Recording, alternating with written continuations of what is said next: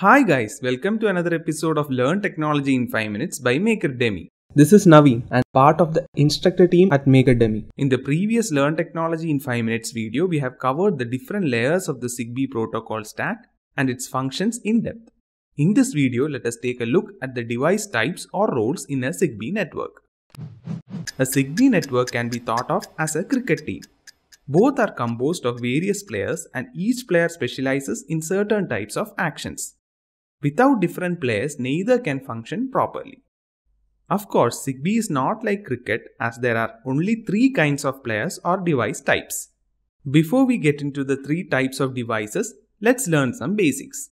Each unit in a ZigBee network can be called node.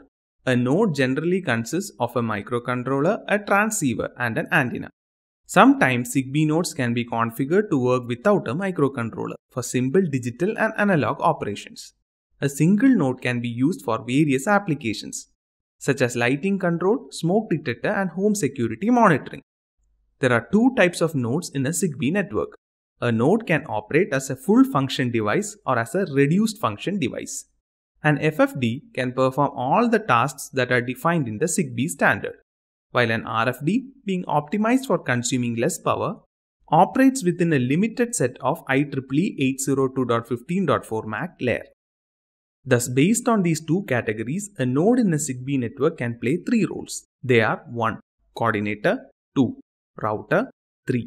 End device.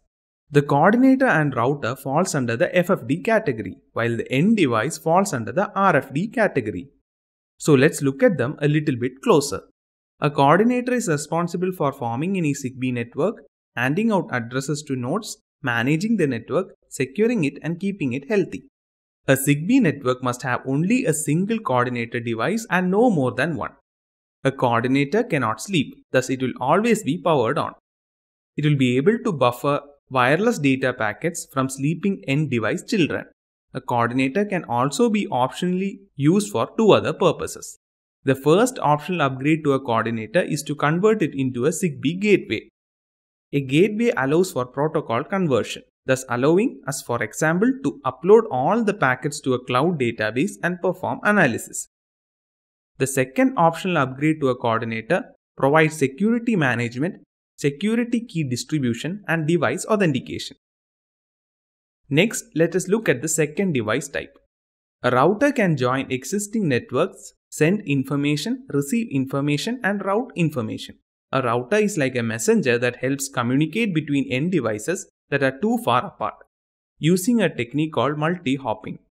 A ZigBee network can have multiple routers, but just like the coordinator, they should always be powered on.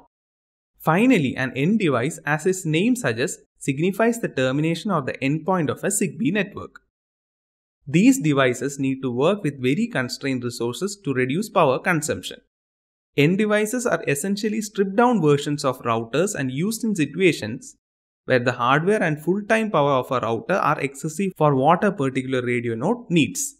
They can join networks and send and receive information. That is it, nothing more. They can also power themselves down to save energy. It needs a coordinator or a router as a parent device to help join the network and store messages for them when they are asleep.